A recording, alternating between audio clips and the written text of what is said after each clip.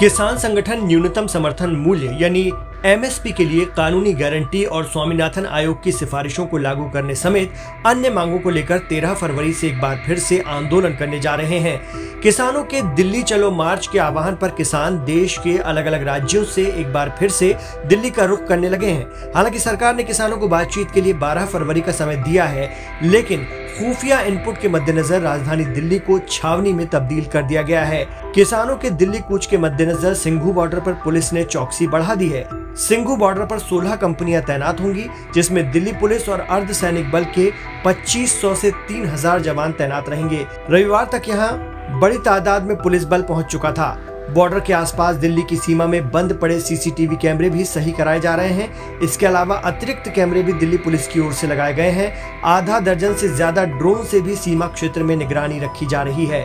बताया जा रहा है कि दिल्ली में होने वाले इस आंदोलन के लिए पंजाब, हरियाणा, राजस्थान, उत्तर प्रदेश, केरल और कर्नाटक से 15 से बीस हज़ार किसान लगभग ढाई हज़ार ट्रैक्टरों के साथ दिल्ली आ सकते हैं। इसके अलावा किसान, कारों, बाइक, मेट्रो, ट्रेन या फिर बस से भी दिल्ली आ सकते हैं। इस आंदोलन के लिए किसान संगठन 100 से भी ज़्यादा मीटिंग कर चुके हैं। इसी तरह दिल्ली और हरियाणा के बीच की टिकरी बॉर्डर को सील किया गया है।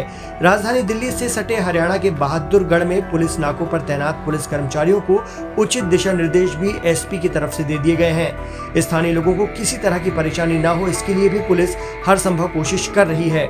इन तमाम तैयारियों ने किसानों के पिछले आंदोलन की यादें ताज़ा कर दी हैं। जब इन सख्त बंदोबस्त और अवरोधों को तोड़कर किसान दिल्ली में घुस गए थे और 26 जनवरी 2021 को राजधानी दिल्ली में बवाल हो गया था। उस वक्त किसान लाल किले तक पहुँच गए थे। इस बीच पुलिस के साथ उनकी जगह जगह भयंकर झड़प हुई थी। ट्रैफ़िक पुलिस से मिली जानकारी के मुताबिक सिंघू बॉर्डर पर सोमवार से ही कमर्शियल व्हीकल्स की आवाजाही को प्रतिबंधित कर दिया जाएगा। वहीं मंगलवार को बॉर्डर पूरी तरह से सील कर दी जाएगी और सिंघू बॉर्डर से सभी प्रकार की गाड़ियों की आवाजाही पर रोक लग जाएगी। Ghazipur border, Loni border, Chilla border, Rajokari border Kapashera border और कालिंदी कुंज डीएनडी नोएडा बॉर्डर पर भी मंगलवार को एहतियातन कड़े सुरक्षा इंतज़ाम किए जाएँगे, जिसकी वजह से आम जनजीवन प्रभावित हो सकता है। दिल्ली को यूपी, हरियाणा से जोड़ने वाली इन सीमाओं पर बड़े बड़े कटीले तार, कंटेनर और भारी पुलिस सुरक्षा बल तैनात किया गया है। पिछले आंदोलन में किसान तेरह महीने दिल्ली के बॉर्डर पर डटे रहे थे, इसलिए इस बार वैसे हालात न बने, इसका खास ख्याल रखा जा रहा है।